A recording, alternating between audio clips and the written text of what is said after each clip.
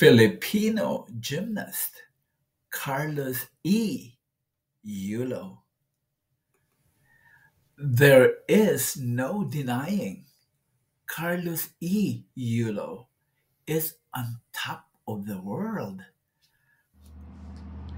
Si Roberto po ito from the USA and welcome to my channel. And bago po ang lahat, maraming maraming salamat po to all my new subscribers.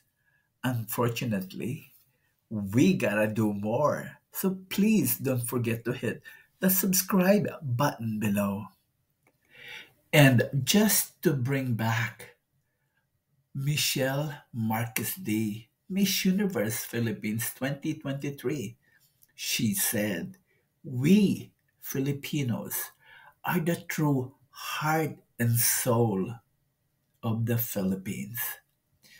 That really pokes my heart.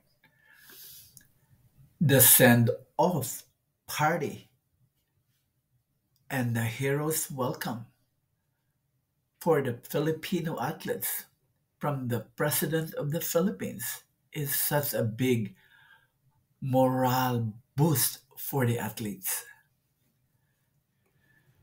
Other than the 20 million pesos, I hope Carlos Yulo will realize that he was given the Presidential Medal of Merit.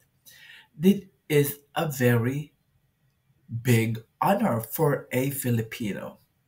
His name will now remain in history. It will never change. So, congratulations again, Carlos Yulo.